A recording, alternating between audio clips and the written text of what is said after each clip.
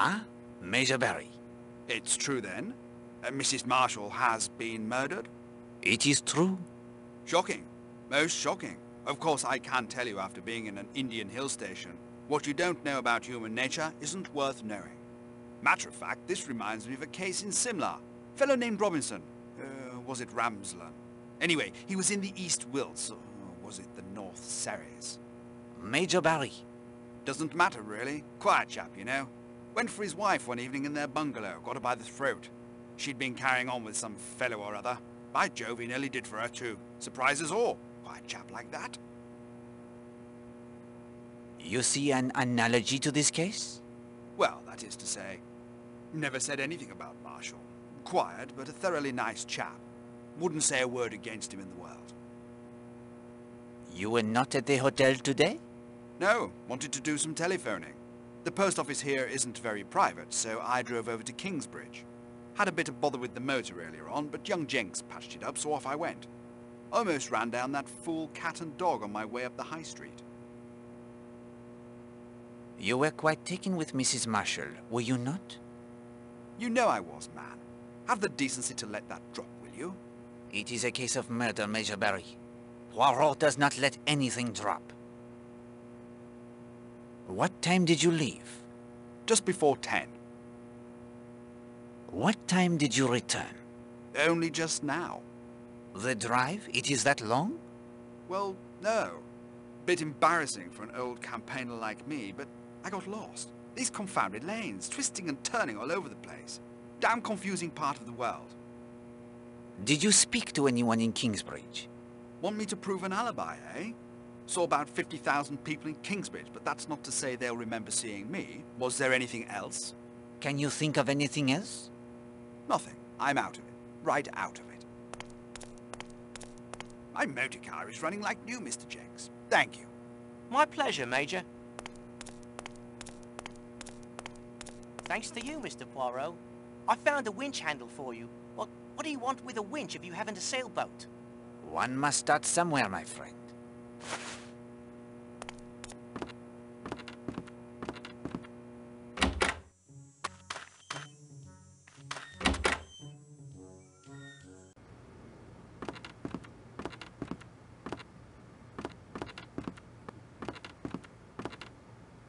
Are there any telegrams for me? I'll just check. Of course, sir.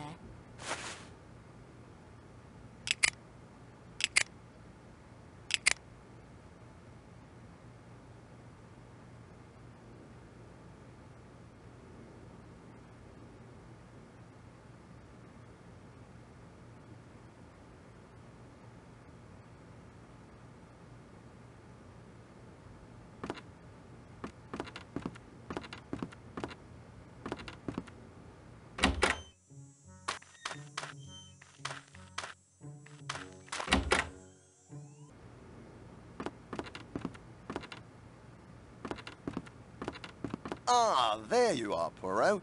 What can I do for you? Do you have the background checks on the suspects? Yes, here they are.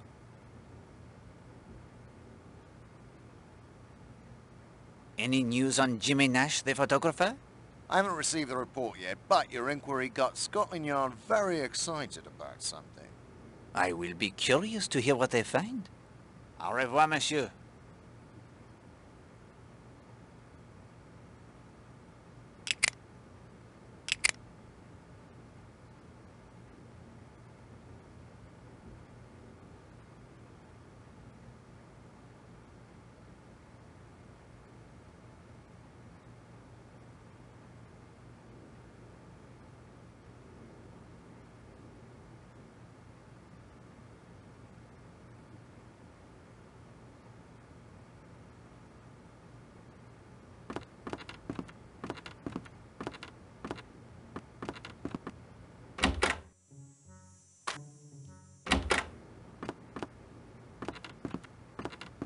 Information you requested should be available later in the day.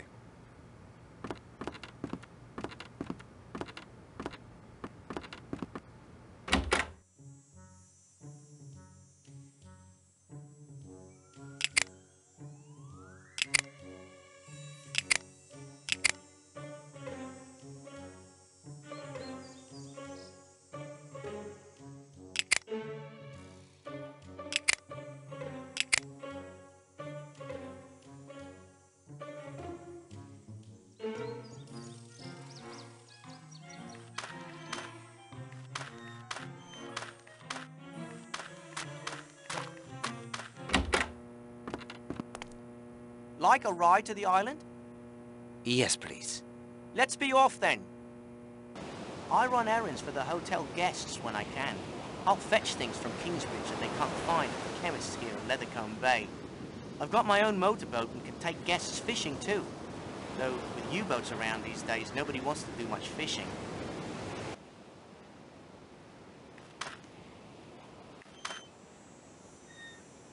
Well, this is neither.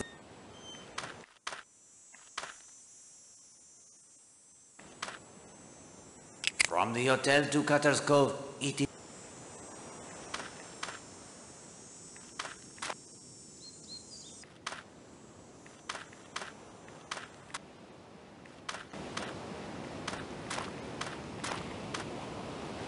Can you row me to Cutter's Cove? Mr. Poirot, after your...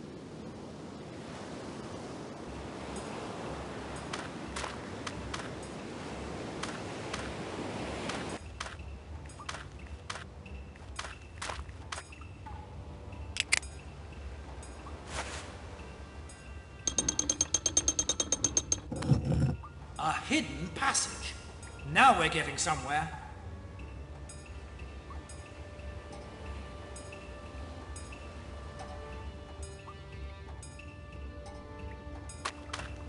Hello, this seaweed wasn't here before. A sandwich tin. Good lord. You must test it, of course, Hastings. But do not expect to find this is a box of powdered sugar. Too right.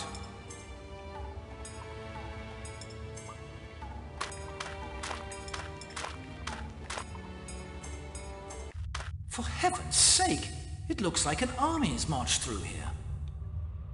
Poirot, the invasion. I think not, Hastings.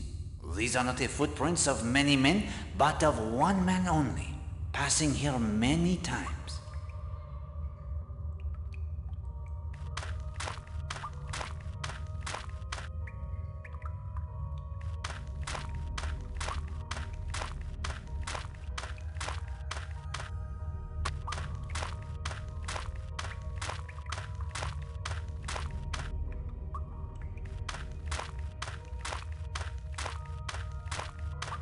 This is a useful point to measure the time it takes to reach Cutter's Cove, the spot that will be the scene of the murder. From the monastery ruins to Cutter's Cove via the tunnel, it is 11 minutes.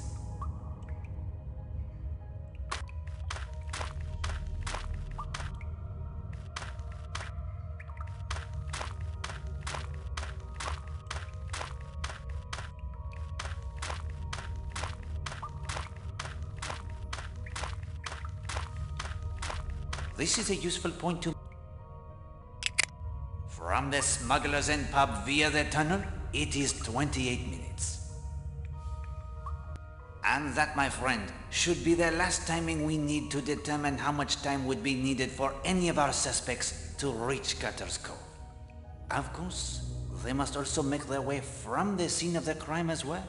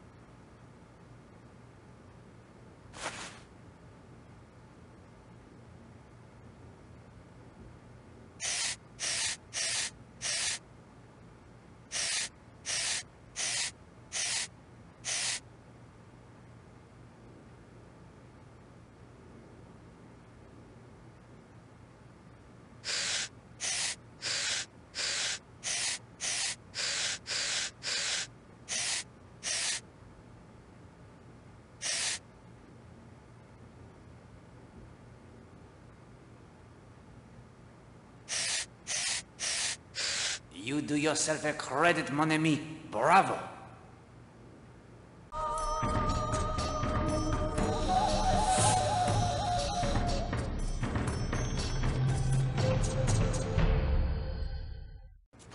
A discovery of significant importance.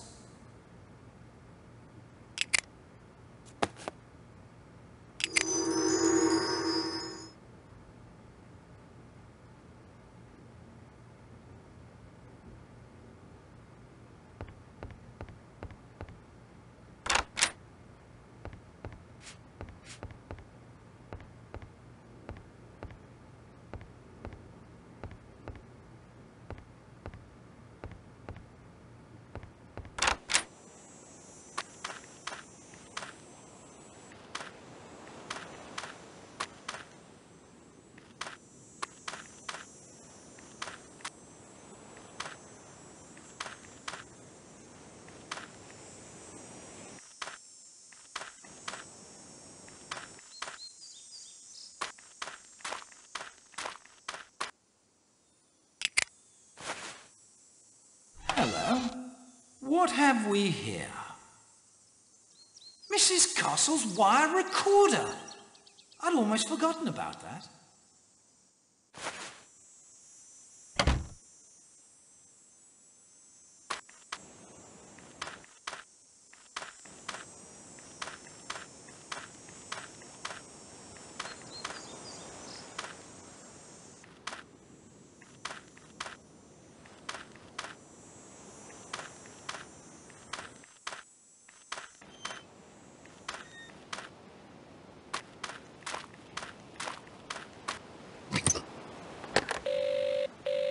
Hello?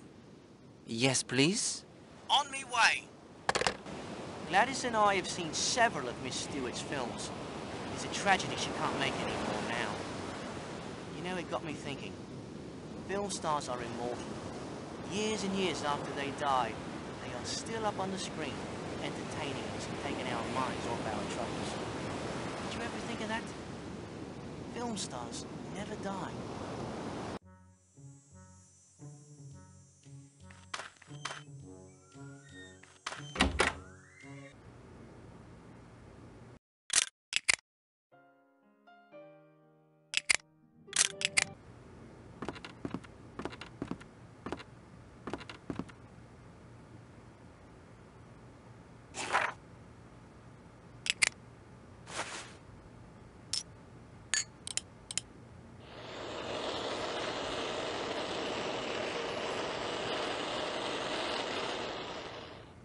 The sandwich tin from the cave?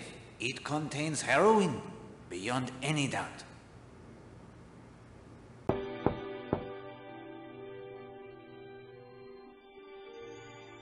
Linda? Linda?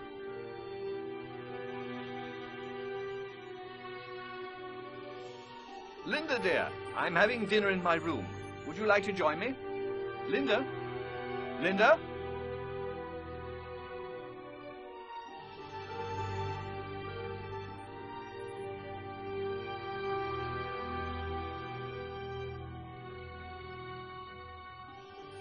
Lord, Linda!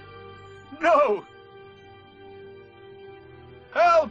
Someone help us! It's my daughter! Please!